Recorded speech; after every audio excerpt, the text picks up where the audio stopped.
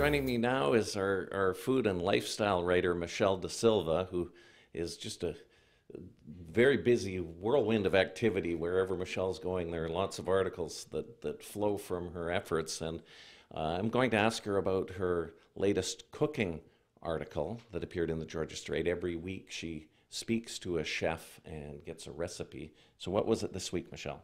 So this week, uh, we featured uh, Andrea Jefferson, who is the chef owner at uh, Quince. That's a cooking school, uh, shop, uh, catering business out of Kitsilano in Vancouver. And what did you learn during your visit with Andrea? So, Andrea has been teaching amateur cooks at her cooking school uh, for about eight years now, and she says that one of the most difficult things people have a, a hard time cooking at home is steak.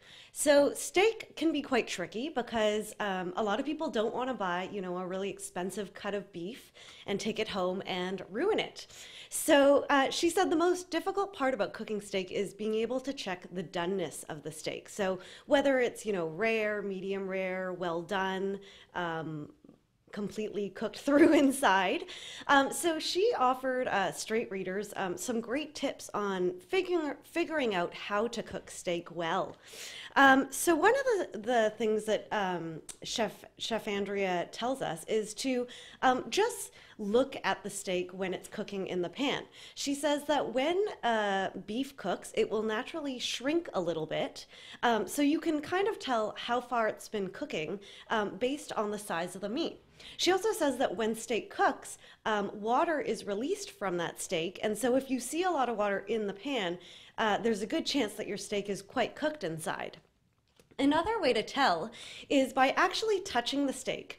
Um, and she says that uh, she, she actually recommends touching the steak uh, when it's raw um, so that you can tell how um, firm it is. And then touching it every so often as it's cooking in the pan. And what, what will happen is that as the steak cooks, it becomes tougher. So um, if your steak is still quite soft, it's probably uh, still quite rare inside, and as it cooks for a longer period of time, it will get uh, tougher as you touch it. Um, the other really great tip that Andrea shares is um, to turn on your oven. So a lot of people want to, you know, just throw a steak on the grill or cook a steak on the stove in a pan. But she she actually compares an oven to a really great babysitter. So she says you can start your steak off in the pan or on the grill, and when you think it's almost done, put it into your oven to finish it off there. And actually that will allow you to, you know, create the sides, maybe make a salad, set the table. She says it's a it's a really good babysitter, uh, which I think is a great analogy for for an oven. You know, Michelle, it's, uh, this is good information for me because I don't know how to cook a steak, and I really enjoy uh, eating steaks and cooking them, but I find it's very challenging. And uh, I'm just wondering uh, what your thoughts are about should you put other things in the pan while you're cooking a steak? Should you put onions in? Should you even put vegetables in or anything else? Well, Andrea recommends um, cooking the steak separately in a separate pan.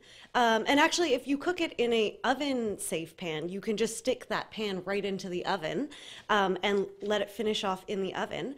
Um, but to cook your vegetables and potatoes and onions and stuff like that in a separate pan.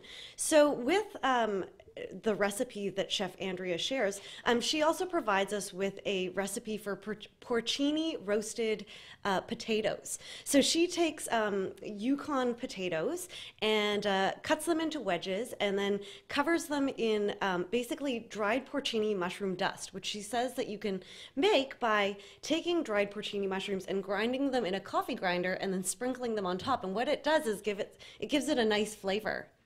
That's very interesting. And this is one of the things we had in our paper in the Georgia Straight this week was a focus on education. And one of the stories that I did was actually dealing with a new center at Simon Fraser University called the Center for Diaspora Studies. And it's a fascinating phenomenon, actually. What we're seeing in Vancouver is a growing number of people who are living here who've moved here from other countries. So they're called members of a diaspora, whether it's the Chinese diaspora, the Indian diaspora, the Arab diaspora.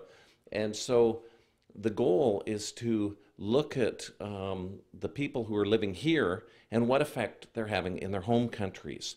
So we've seen that for many years with the Ismaili community, um, which came from East Africa largely. It's, it's a sect of Islam that's, that's an offshoot of Shia.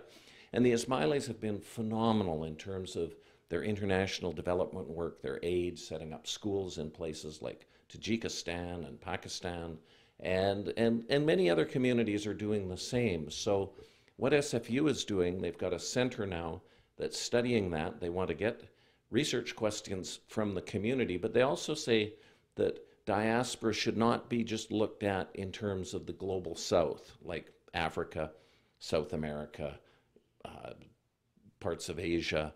Uh, but actually, there's a Canadian diaspora, for instance, and a significant Canadian diaspora even in China and in Hong Kong. And so they have a goal to study them as well. And we've also seen that diaspora should not necessarily be kind of romanticized because sometimes there are some problems, like we've seen with the uh, Sikh diaspora in BC. Um, certain elements within the community were linked to the bombing of the Air India plane. So, and, and we've also seen in Ukraine where the Russian diaspora is uh, raising concerns and the Ukrainian diaspora is raising concerns, and sometimes that can lead to conflict. So, I'm very excited about this Center for Diaspora Studies at UBC, so that was also part of our educational coverage this week.